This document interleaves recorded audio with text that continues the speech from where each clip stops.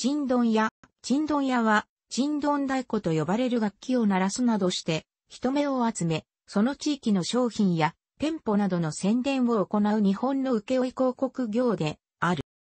広め屋、広め屋、東西屋と呼ぶ地域もある。締め太鼓と鐘、当たり金を組み合わせたチンドン太鼓などの演奏、及び諸芸や奇抜な衣装、仮装によって街を回りながら依頼者の指定した地域、店舗へ人を呼び込む。また集客した上で宣伝の向上やビラ巻きなどで商品の購入を促す。街を回りながら行う宣伝を街回り、移動せず店頭で行う宣伝を、いつきという。3人から5人ほどの編成が一般的で、チンドン太鼓、学士、ゴロス、大太鼓を中心に、旗持ち、ビラマキラが加わる。チンドン太鼓は、事業主である親方が担当することが多く、工場も兼任する。学士は、クラリネット、サックスなどの管楽器で旋律を演奏する。特定の親方と雇用関係を結ばず、フリーで活動する学士も多い。旗持ちは、上りを持ち、先頭を歩く役割で、ビラ巻きは、チラシ、ティッシュなどを配布し、背負いビラと呼ばれる店名やサービス内容が書かれたポスターのようなものを各人が背中に背負い、あるいは、チンドン太鼓の前に取り付ける。関西では、上りではなくプラカードを持つことが多く、ビラ巻きをチラシ配りと呼ぶ。店舗の近隣をめぐる、街回りの仕事を基本とするが、大規模店舗や催し物の会場内を回ることや、店の前やステージなどでの演奏を依頼されることもある。仕事の始めと終わりや、雨天時などに止まって演奏することを、挙付きという。宣伝活動を営利で行う点で、路上において芸を演じる大道芸人とは明確に区別される。宣伝の仕事を元請けで行う、つまりクライアントから直接仕事を請け負う業者を、親方と言い、屋号を持つ。一方、元請けで仕事を行わない業者はフリーと呼ばれる。日本国外からは、日本におけるストリートミュージックの例として取り上げられる場合もある。積極的に宣伝行為をすること、派手な衣装で人目を引く行為、人物への比喩として、チンドン屋が用いられることも多い。当たり金と太鼓を組み合わせて一人で歩きながら演奏できるようにした一種のドラムセットをチンドン、またはチンドン太鼓と呼び、チンドン太鼓を用いて路上で宣伝する職業を、チンドン山は単に、チンドンと称する。チンドンは、鐘の、チンという音と、銅太鼓の、ドンという音を組み合わせた擬音から成立したと考えられるが、十分な用例が確認されておらず、この成立過程は明らかではない。チンドン屋という言葉は、1878年、明治11年12月11日の郵便放置新聞見出し、珍道屋よろしく大道はめ売りや、1889年、明治22年10月6日の東京日日新聞見出し、条約改正戦、珍道屋総出の形などに見られるように、明治初期から存在したが、用例が少なく、その後が意味する対象は明らかではない。現代21世紀の珍道屋につながるものとして、チンドン屋の故障が普及し始めたのは、大正末から昭和初期と考えられ、確認できる要例は、1930年、昭和5年頃からある。当初は単独で過敏な衣装を身につけ、工場を行うことに対して、チンドン屋の故障が用いられており、必ずしも三味線、管楽器の演奏を伴わない形態であったと推察される。チンドン屋を指して、広めや広め屋という表現が用いられることがある。広め屋は回転疲労の仕事をすることが多かったため、あるいは芝居の工場に由来するとされる。広め屋は広告宣伝、装飾、工業などを手掛けた秋田柳吉が起こした会社の名で依頼に応じて楽隊を派遣したことで楽隊広告の代名詞として用いられるようになった。関西では東西屋という表現が用いられることがある。東西屋は大阪の勇亀が芝居の工場である。東西、東西と在とうざいを流用して寄せの宣伝受け負いを行ったことから広まった。現代21世紀、これらの語を使い分ける場合は、広め屋は楽隊の存在を重視し、東西屋は工場を主体とする意味合いを含む。この故障は明治期から用いられ、昭和初期に鎮丼屋へと変化したと思われるが、歴史的経緯については、次説を参照のこと。鎮丼屋の起源については、諸説あるが本説では、街頭宣伝業である東西や広め屋の始まりから記述する。楽器を用いたり工場を述べたりして、物を売り歩く職業としては、江戸中期より、飴売りという存在があり、文久年間には、日本橋の薬店の店主が、日々ロードの巾着を下げ、赤い頭巾をかぶって、支柱を歩き広告をしたという記録があるがこれは、自身の売り物を宣伝するためであり、広告請負である、鎮丼屋とは異なる。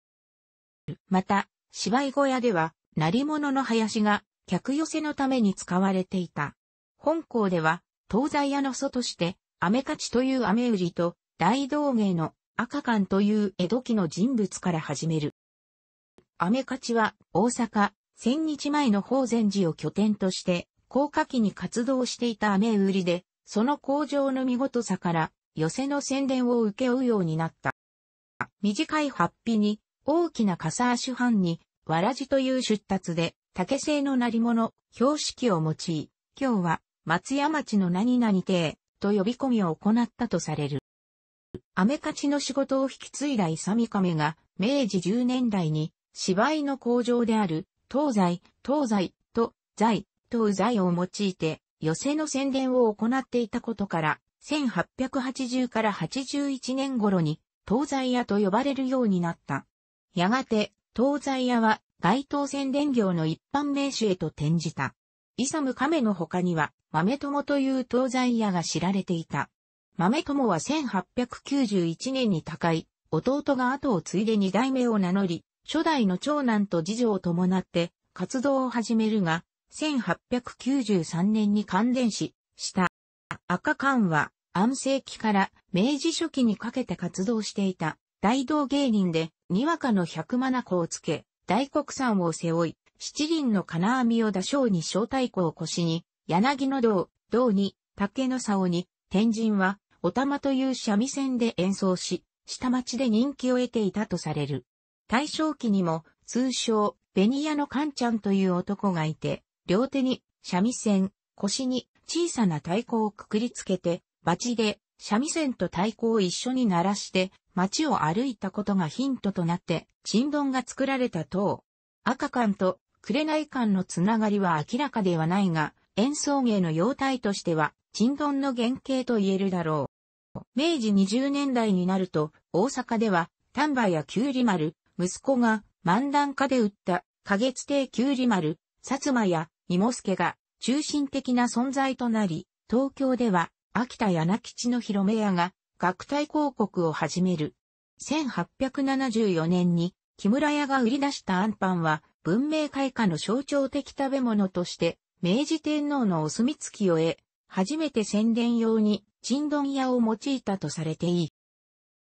丹波や九里丸は1887年頃から豆や栗を売り始め、売り声が評判となり、東西屋に転じた。くのり丸は東西屋開業前から林方を加え、開業後は自身が表紙に相棒に太鼓を叩かせて街を歩いた。柏屋開店の仕事の際に松に羽衣をあしらった長襦袢をまとい、中心蔵になぞらえた音玉入りの工場が評判となり、人気を博した。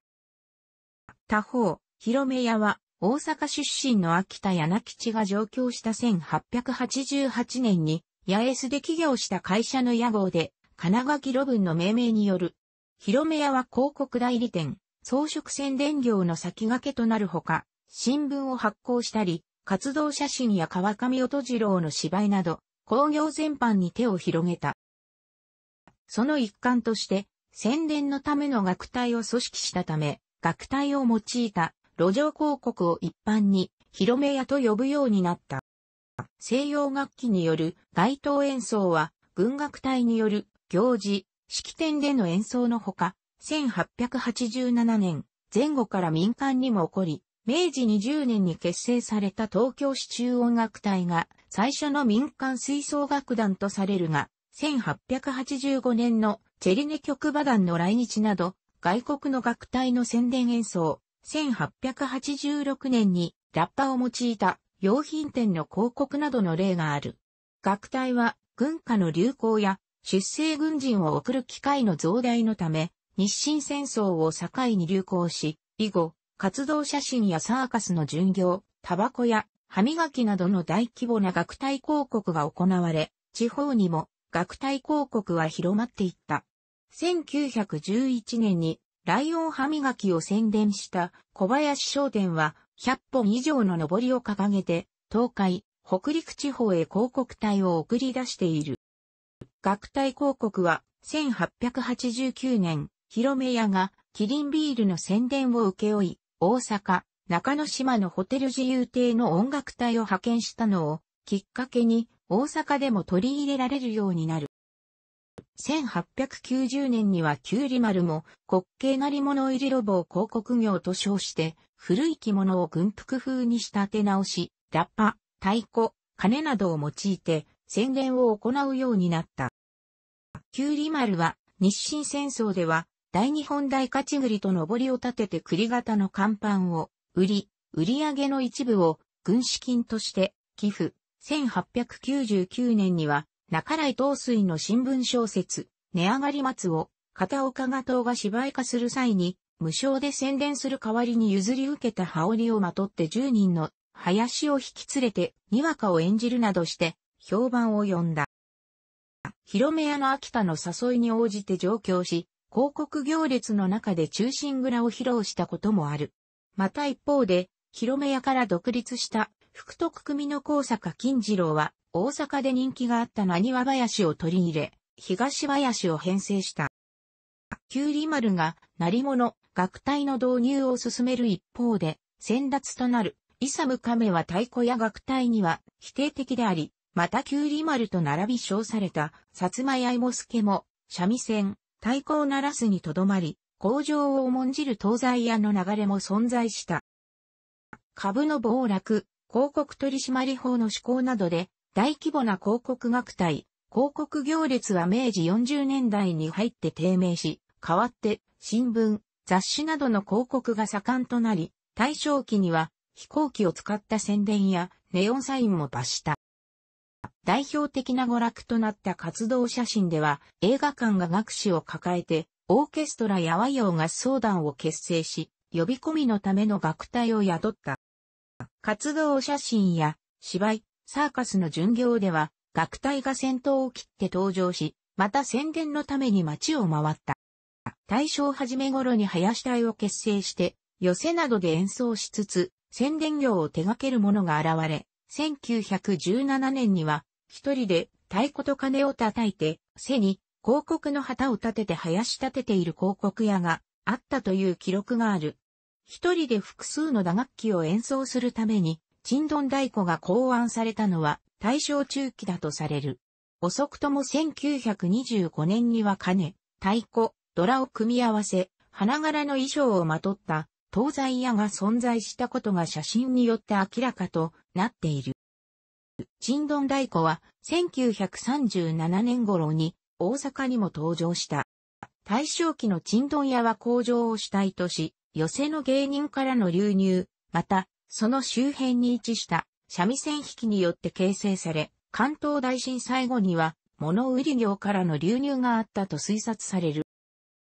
やや遅れて、衰退に向かった人太の管楽器奏者を加えた、形態が大正末頃から増え始め、トーキーの登場を機に失職した映画管楽師が流入し、管楽器入り編成が定着する。このほか、紙芝居や村芝居などからの流入があり前者は、ゴロス、後者は、カツラなどの導入につながったと思われる。こうした転身者、とりわけ役者や芸人からの転身者は珍丼屋として生計を立てることに執着せず、他に条件の良い職業があれば廃業しても構わないと考えており、芸への執着が希薄であった。したがって、この時期のチンドン屋が見せたパフォーマンスは、素人芸の水準にとどまる場合も多かったとされる。文明開化の時代においては、東京の商店主が西洋音楽と軍楽隊退役者を結びつけ、小さなブラスバンド、支柱音楽隊を作り、楽隊、人家とも呼ばれた運動会など、祭事の宣伝を行い始めた。当時は芸術としての音楽に重きを置いたものであったが、これに目をつけた秋田柳吉が本格的な宣伝業者に高めていった。戦前の前世紀は1933年から38年頃とされる。1936年、鳩山一郎、戦後、内閣総理大臣と敵屋出身の市議会議員、倉持中介が選挙における票の取りまとめに利用しようと、鎮ン屋の組合、帝都音楽林広告業組合を作ったが、その会員数は3000人に及んだという。1941年になると、鎮ン屋及び各種大道芸は禁止された。戦後の復興の中で、鎮ン屋は勢いを取り戻した。大規模な広告展開が困難な状況であった中で、少人数、小規模で小回りが利く、鎮ン屋の営業形態が時代に合っていたこと、陽気な音楽や派手な衣装が求められたことなどが理由として挙げられる。特に関東ではパチンコ店からの仕事が多かった。1950年には鎮ンや人口は2500人に及んだとされる。昭和20年代後半には、もともと忙しい時期が異なるために人的交流があったサーカス関係者や映画に押されて芝居小屋が縮小したため、旅、役者もチンドン会に流入した。チンドンのコンクールも開催されるようになった。東京の新橋で1950年に行われたのが最初で、昭和30年代には東京都内、前橋、沼津、姫路、伊勢、函館、彦根など全国各地でチンドンコンクールが開催された。多くのコンクールは継続しなかったが、1955年に始まった富山での全国チンドンコンクール、1965年に全日本チンドンコンクールに解消は、現在2016年まで継続して開催されている2011年は、東日本大震災のため中止。このコンクールは全体を統括する組織がない中で、業界を緩やかにつなぐ役割を果たしている。前年に富山産業大博覧会を終え、一時的に消費が冷え込んだ地元商店街の活性化と観光客を招くため富山の宣伝を機として、富山市と富山商工会議所が主催の桜祭りの催しとして始まり、42のチンドニアが参加、平日昼間に行われたパレードには8万人が集まった。全日本チンドンコンクールの記録では、1955年の第1回に42団体が参加、以後団体数は50前後を推移するが1972年から加工を始め、1981年には18団体まで減少する。近年より素人、チンドンコンクールも始まり、そこからプロのチンドンマンに転身するものも見られる。現在プロ部門では30組前後の団体が出場している。1960年半ば頃からはテレビの普及などもあり、チンドン屋は古臭いものとなってしまう。さらに、昭和30年代頃からスピーカーを通した宣伝広告が音響上の脅威となり、加えて自動車の交通量が増加し商店街や横丁をも通行するようになったことで、都市において、チンドン屋が活動できる空間は狭まった。昭和40年頃から衰退を見せ始め、1971年の石油ショック以後急激に数を減らし、数百人程度にまで落ち込んだが、仕事自体は減っていなかったという証言も多い。1989年の昭和天皇崩御による自粛ムードは、ほぼ1年間鎮ン屋の営業を不可能にさせたという。東京では、ジャガタラなどで活動していた、篠田正イ、A ムージークやルナパークアンサンブルで活動していた大熊渡るらが、高田宣伝社で学士としてチンドン演奏を始め、記録として東京チンドンボリューム1を録音した。篠田はコンポステラを結成し、音楽家としてチンドンで奏でられる音楽を取り入れる試みを続けるが、1992年に急成する。大熊は、ソウルフラワーユニオン、ソウルフラワーもののけサミットとともに、震災後の神戸などでも活動し、雑誌などでもチンドンに関する記事を執筆している。また、ソウルフラワーもののけサミットによるチンドンアレンジのライブ活動や CD リリース、アジールチンドン、レベラーズチンドン、デラシネチンドンが若年層にチンドンを広めることにもなった。これら新世代の活動は、チンドンの存在を若い世代に伝え、既存業者の高齢化と相まって、チンドン業界へ若い人材が参入する流れが生まれた。2001年に全国のチンドン屋の数は150人ほどとされる。商店の宣伝が主要な仕事とはいえ、大企業のキャンペーンや町おこしのイベント、結婚式など、賑やかな雰囲気づくりのために呼ばれることも増え、特に若手とされるチンドン屋はパフォーマンスを営業案内に含めることも多い。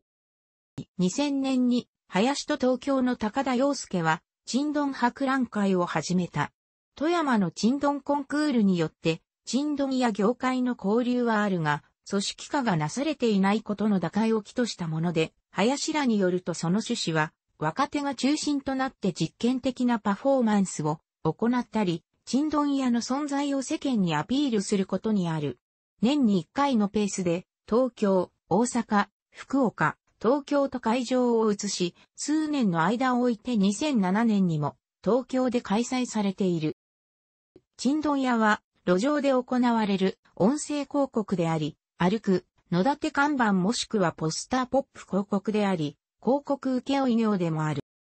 音声広告は、売り声掛け声及び鳴り物などの使用による広告の総称で、中世の行商人やお腹目に遡る。江戸中期には、様々な工夫が凝らされるようになり、文化、文世紀の引き札には、工場が記録されることが多くなり、明和6年の引き札には、東西東西の表現も現れる。こうした工場は、歌舞伎にも取り上げられた。売り声だけでなく、派手な衣装で、歌や踊りを披露し、金やチャルメラで個性を出した。雨売りがその声を売り物として、東西屋となり、依頼を受けて、楽器演奏を行う、民間吹奏楽隊と結びついて、珍丼屋の母体となったと言える。広め屋の秋田と東西屋の九里丸は実際に交流があり、大規模な学隊広告では工場役と学隊をそれぞれに依頼し、共同作業を行った。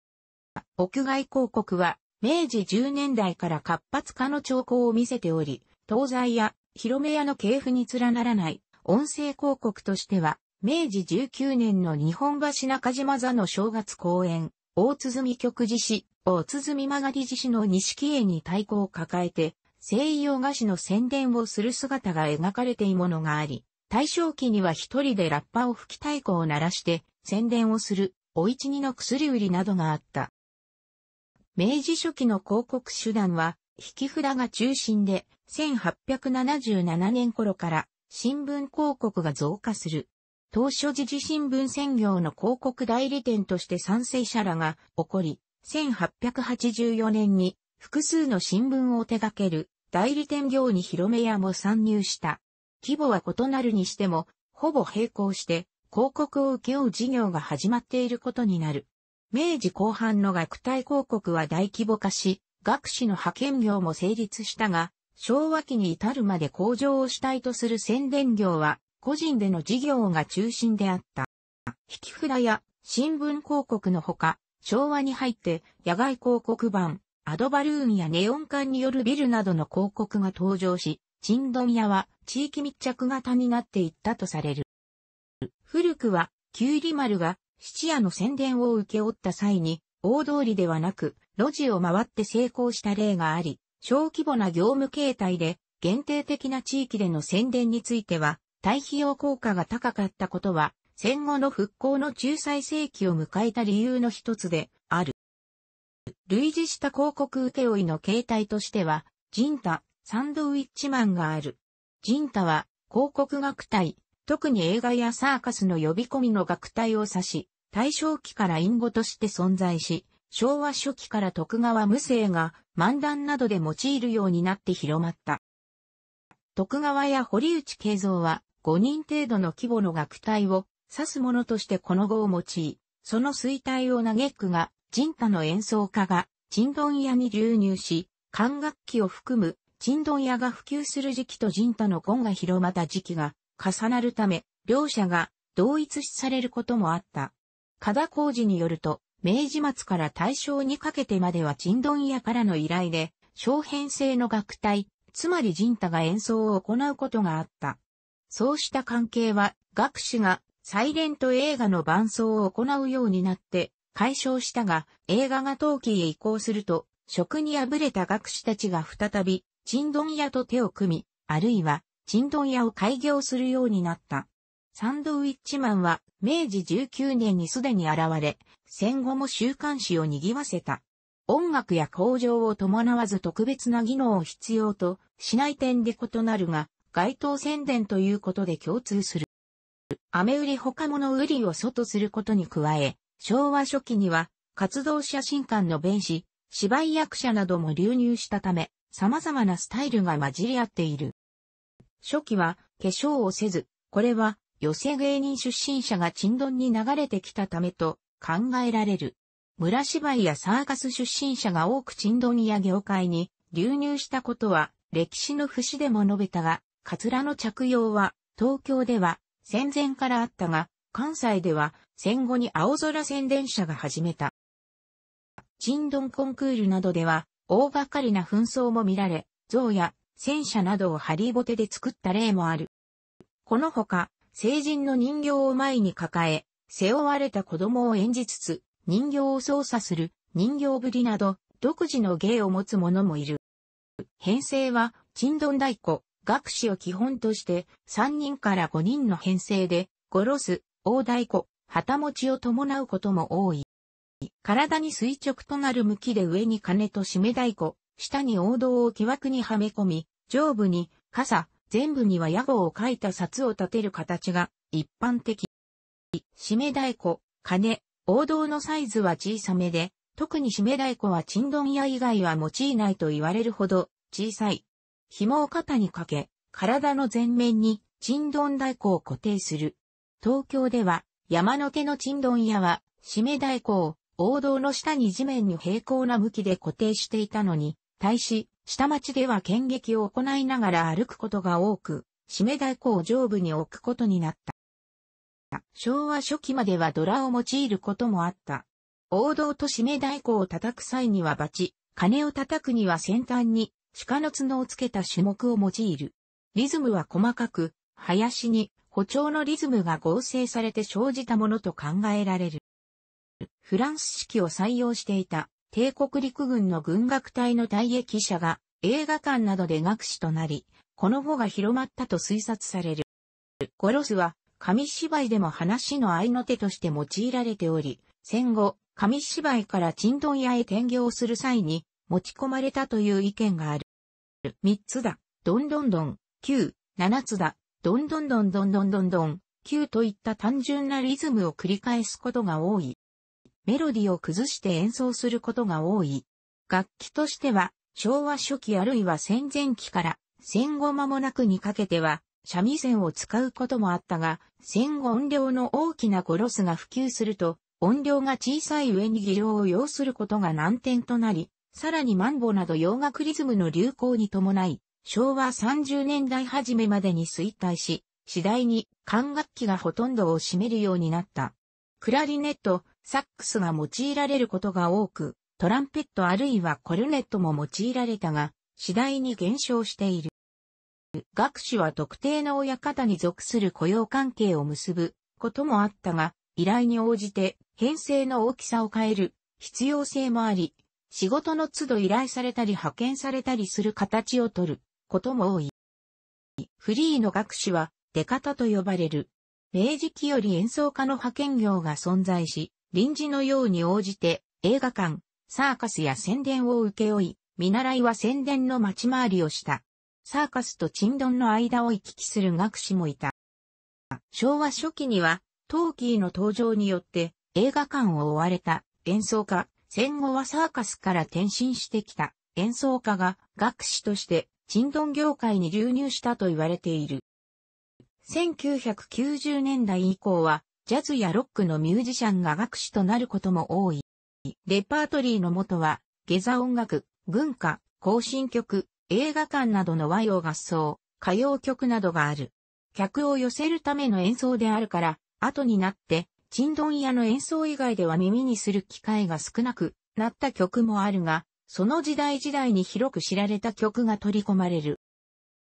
無声映画や寄せ太鼓でも親しまれた四丁目、竹須、竹にスズメなど歌舞伎下座音楽から借用したもの、軍艦マーチ、天然の美、美しき天然など、国産の軍歌、行進曲などから取られたものは、定番曲として演奏され続けているこれらも、取り入れられた時代には、耳馴染みのある音楽だった。戦後になると、いわゆる歌謡曲が演奏されるようになる。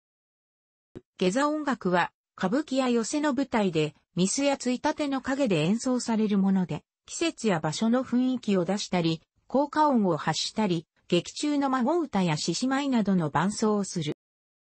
長歌を中心とするが、清本、義太夫のほか、羽歌や新内、神楽、念仏など必要なものは取り入れ、また奇抜な試みも行われていた。当初、寄せの林は上方にのみ存在したが、大正期に東京の牧会が取り入れ、定着した。また、大衆演劇にも採用された。四丁目、竹にすずめ、竹須、米洗いなどは、下座音楽からチンドン屋のレパートリーとなった。下座音楽の祭礼林は、細いバチで叩くことで、軽快さを出し、三味線と合わせる際に、リズムが強調された。演奏の始めに鳴らされる、打ち出しは、出林から借用されたもの。軍歌は日清戦争時に流行し、民間吹奏楽団の主要なレパートリーとなった。軍楽隊の田中穂積作曲による天然の美はサーカスの楽隊のレパートリーとして知られ、チンドン屋のレパートリーともなっている。海軍軍楽隊の瀬戸口藤吉が作曲した行進曲、軍艦は軍艦マーチとして景気づけのために用いられ、特に戦後、パチンコ店の宣伝に用いられ一般化した。このほか、ドンドレミなど、由来が不明の行進曲もチンドン屋のレパートリーとして残っている。天然の美や軍艦マーチは映画館の呼び込みに用いられたが、館内では伴奏のための楽団があった。大正末から流行する時代劇では、ピアノやサックスなどの洋楽器に三味線や林方が加わる。和洋合奏という編成が主流になった。無声映画時代には下座音楽が流用されたが、陶器以降は映画会社とレコード会社が提携して新曲を作るようになる。チャンバラの流行もあり、三味線音楽の延長にある流行歌が多く生まれ、和洋の楽器が混在する編成で伴奏された。名月赤城山や無法松の一生、野崎小歌などは和洋合奏による映画の伴奏からチンドン屋のレパートリーとなったと思われる。歌謡曲は時代時代に応じて選曲され、曲としての知名度や曲調のほか、テンポ、旋律などによって適不適があると考えられる。チンドン屋についての記録が少ないことから、文学作品に現れる楽隊、東西や広めやチンドン屋の描写も資料として扱われる。代表的なものしては、創作作品として、長井家風、東花の巷、1903、室生再生、珍丼世界、1934、江戸川乱歩、陰獣、1928、武田林太郎、広め屋の道、1935、高田文、珍丼屋、1954、梅崎春夫、原価、1965、黒岩十五、朝のない夜、発表年不明、平岩由美恵、チンドン屋の娘、1982、奈良博明、チンドンジャン、1990、エッセイとして、田中小正、あの子はチンドン屋の娘だった、1979、渋沢達彦、チンドン屋のこと、1981などがある。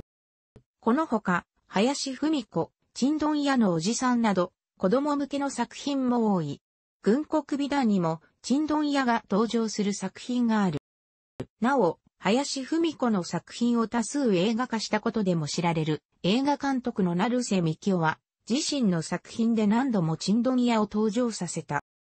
物語への介入はほとんどなく、その多くは BGM としての扱いも兼ねているが、成瀬自身が強いこだわりを持って登場させていたという。チンドン屋についての考察は、紙芝居出身で思想の科学に参画した加田浩二が1980年にまとめた下町の民族学、東京の現像が早く、以後、チンドン屋のイメージを形成したと言える。加田は紙芝居や時代の体験をもとに、チンドン屋の様態を記述した。ついで、ルポライターの朝倉隆が1983年にミュージックマガジンの連載、日本の芸能100年で、チンドン屋を取り上げる。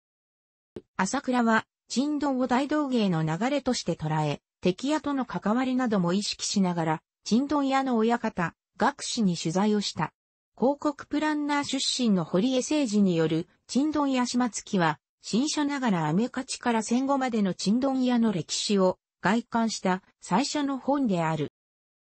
林幸次郎、僕たちの珍道屋日記、珍道屋です。は、珍道屋家業に飛び込んだ体験を記し、またチンドン市や現代におけるチンドン屋の役割などについて考察を続けている。音楽学者の細川周平は西洋音楽の輸入と土着化という音楽的な視点でチンドン屋を捉える試みを続けている。音楽家の大熊渡はチンドン学士としての活動の中で得た情報をまとめ、執筆も行っている。楽しくご覧になりましたら、購読と良いです。クリックしてください。